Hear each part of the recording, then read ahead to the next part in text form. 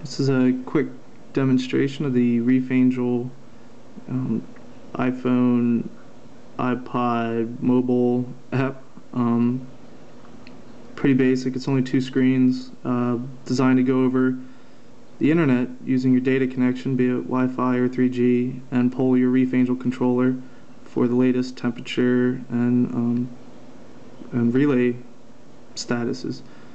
Uh, pretty simple. It only needs one piece of information, a Wi-Fi URL. Uh, this points to the, the URL of your Wi-Fi adapter, your Reef Angel Wi-Fi adapter. Uh, in this case, it's just going to a dns.org URL for an account that I have set up there, and uh, it gets forwarded to my router, which has a port forward rule and always points it to the, the Reef Angel Wi-Fi adapter. So this lets the app communicate with the adapter and, and your controller. Um, the screen just has a few basic settings, uh, temperature labels, and uh, relay box information so you can label your your uh, your relay ports uh, to the equipment.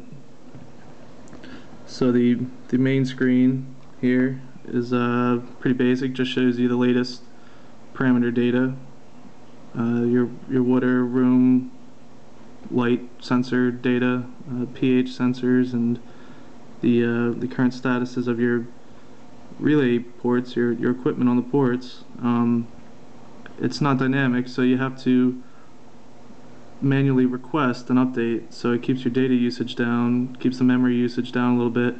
So at the top right here, we have a refresh button. Should go out and update with the latest latest information from the controller. Uh, the water temperature is a little warm, so my daylights, as you can see, are, are masked on just for this demonstration. The controller would normally have them off. Um,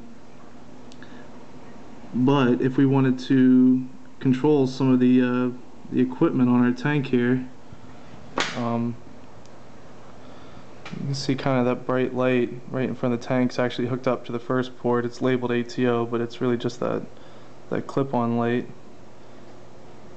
flip it off.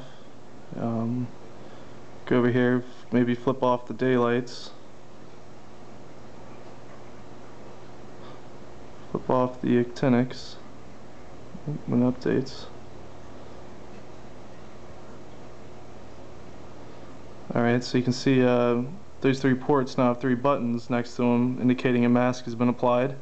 So they'll remain in, in this state, in the off state, until either the mask is removed or you mask them on, in which case they'll, they'll stay on indefinitely.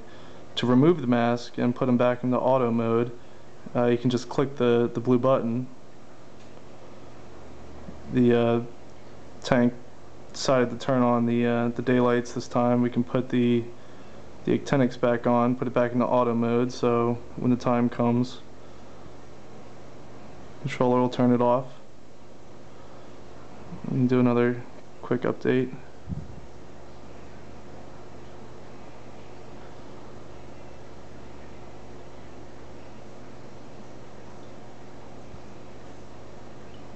Alright, that's it.